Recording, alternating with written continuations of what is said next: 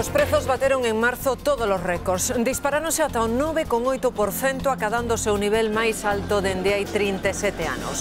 O encarecemento da electricidade, o gas e os carburantes arrastra consigo toda a cesta da compra. Só no último mes, os prezos subiron máis dun 2%.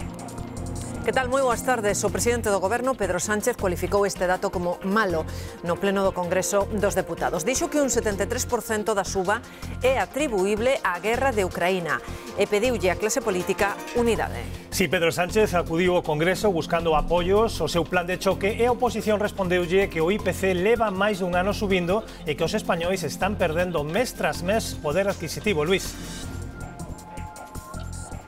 Sí, críticas desde a oposición e mesmo desde as bancadas dos socios de investidura, Esquerra denuncia que os prezos subiron tres veces o que subiron os salarios e recoñece O cabreo social, o Partido Popular denuncia a inactividade e a pasividade do goberno tres semanas, de Cuca Gamarra, sen facer nada e co país en colapso. O goberno atribúe o 73% da suba da inflación o impacto da invasión de Ucraína sobre os prezos da enerxía e dos alimentos non elaborados. Mal dato, recoñece Pedro Sánchez, mal dato que afecta especialmente os máis vulnerables. A nuestra sociedade en particular a los colectivos más vulnerables, en un 73% el alza de los precios se explica por el desbocado precio de la energía y también de los alimentos no elaborados, y todo ello exacerbado por la guerra de Ucrania. Alberto Núñez Feijóo asegura que a inflación é dramática e non se debe á guerra de Ucraína, senón ás políticas do goberno. Feijóo amosase disposto a negociar con Pedro Sánchez medidas para atallar a suba dos prezos.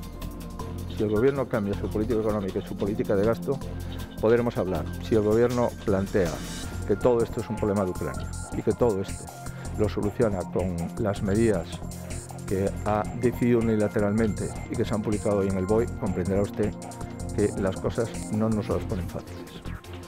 E os supermercados poderán racionar a compra de produtos, aínda que xa sufrimos esta situación, algúns establecementos co aceite de xirasol, por exemplo, o certo é que non había unha normativa legal que amparase estas limitacións. Esta é unha das novidades co plan de choque do goberno que entrarán en vigor a partir de mañá. Marta.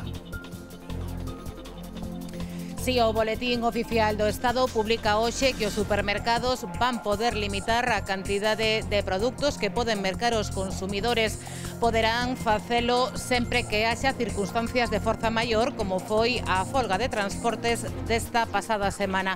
A medida busca evitar o desabastecemento de determinados produtos como aconteceu co aceite de xirasol.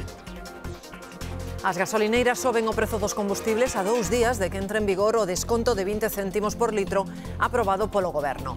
Gasóleo e gasolina están hoxe de media 5 céntimos máis caros que o luns. Os condutores din que con esta suba apenas do, notarán o desconto. Alguns mesmo piden que se estableza un prezo fixo. Esta coincidencia de que suba eh, 15 céntimos ou sobre 15, 20 céntimos de hoxe para mañá. Un precio que realmente eh, fora fixo e que a, despois as gasolineras non poderán andar modificando e Ucraína e os Estados Unidos non confían no repergamento de tropas anunciado por Rusia. Creen que se trata dunha nova estrategia de reagrupamento do exército de Putin. Dende que comezou a guerra, máis de 4 millóns de ucraínos tiveron que abandonar o país.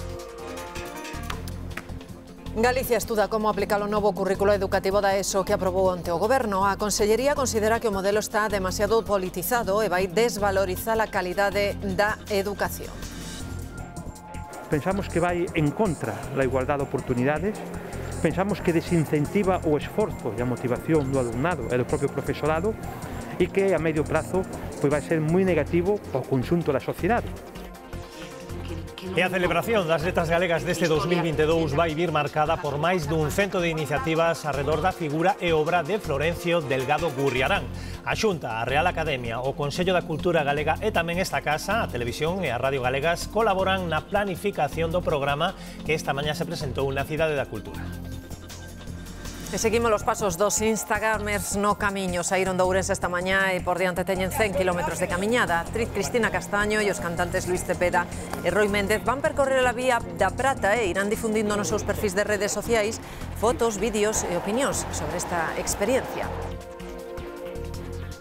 comunicar como facemos sempre, pois a nosa experiencia, intentar contaxar a, bueno, no meu caso o meu público que é público bastante novo, eh, pois esta experiencia para que a fagan cando, cando poidan. É a miña primeira vez, como xa dixen, ou sexa que vivirei no intensamente. As rúas de varias vilas do interior de Cádiz convertéronse en torrentes de auga, vexan. A chuvia reciou de tal maneira que en cuestión de minutos rebordou o río e levou por diante todo o que atopou o seu camino. Aquí en Galicia a chuvia non é a protagonista, senón a friaxe. Os termómetros poden baixar ata valores propios de xaneiro e de febreiro. Durante a noite volverán as xeadas e polo día os termómetros non acadarán nin os 15 graus. Ademais, o vento do norte fará que teñamos unha sensación térmica de máis frío. Toca abrigarse como no inverno.